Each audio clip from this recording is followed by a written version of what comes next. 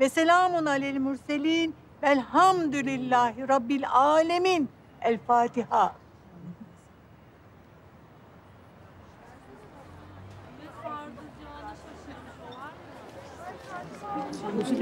Kuzu başın sağ olsun. Allah cennetinde kavuştursun kuzu. Ne diyor bu bunak yine? Ne olacak? Kına yakıyor balamoz. Surata bak. Ne suratına hadi bakalım. Kuzu baksana aslında alışırsan hapishane kötü bir yer değil değil mi? Gerçi alışmayı bilecekse. bir ömür burada yaşayacaksın artık burası da senin evin kuzu. Deniz. Durma öyle ezik ezik. Ezik mi? Aynen öyle. Sen böyle ezik durdukça onlar da seni ezik sanacaklar. Abla, gözün aydın. Seninle olan dilekçeyi onaylamışlar. Bugün görüşüne gelin. Sağ ol. Deniz. Deniz. Müdüriyette kağıtları gördüm. Kızın geliyor görüşe. Ne diyorsun? Bununki de mi geliyor? Onunki de gelin. Hayırlı olsun abla. Nalan annem. Sağ ol, sağ ol. Hadi hayırlı olsun. Azıcık yüzün gülsün. Ağlama. Tamam. Ağlama. Tamam sağ ol. Sen, gel benimle. Dikkat dikkat. Telefon görüşmelerinde Hadi lan çabuk çabuk. itibariyle yeniden başlatmıştır. Bütün başvurular İso nazik ol.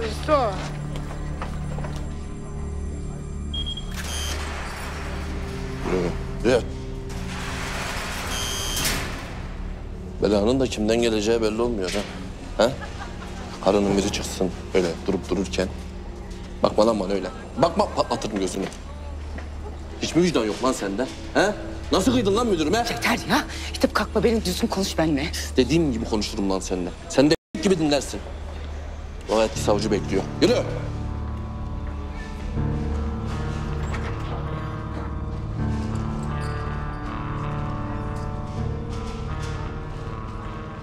Geç otur geç geç.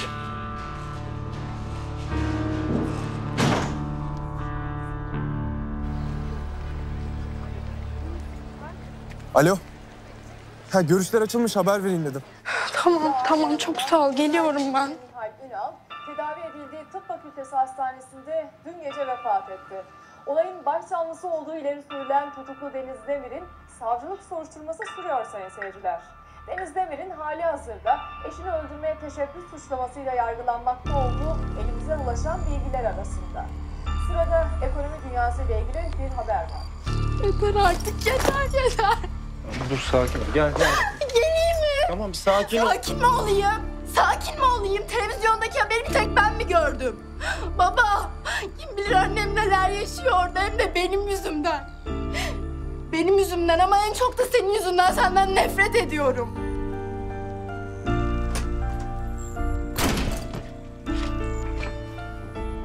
Ha, söylememe gerek yok. Bu artık bir cinayet soruşturması.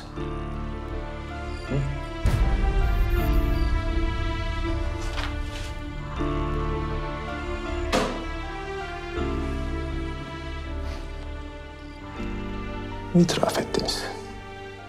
İtiraf et kurtul. Neyi? Neyi? Sayayım mı suçlarını? Bir, kocanı vurdun, elinde silahla yakalandın. İki, içeri girer girmez cezaevine sim kart soktun. Yasak olduğunu bile bile.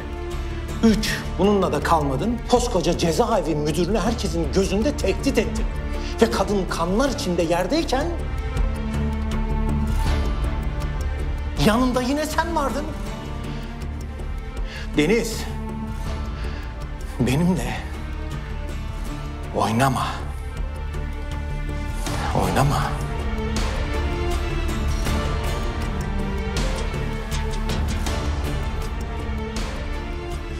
Deniz.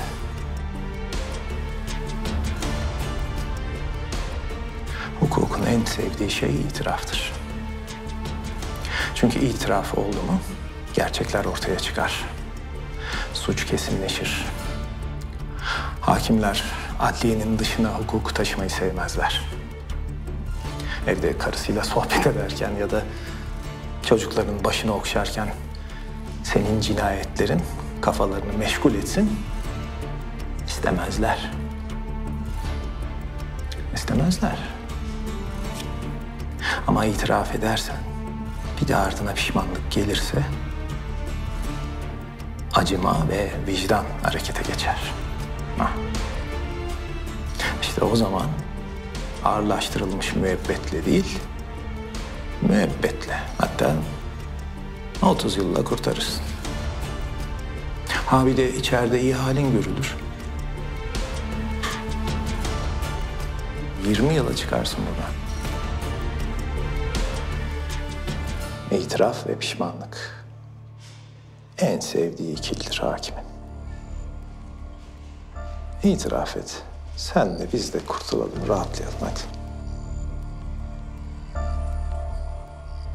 Ben bir şey yaptım. Kocanı da mı vurmadın kocanı? Elinde silahla yakalandın.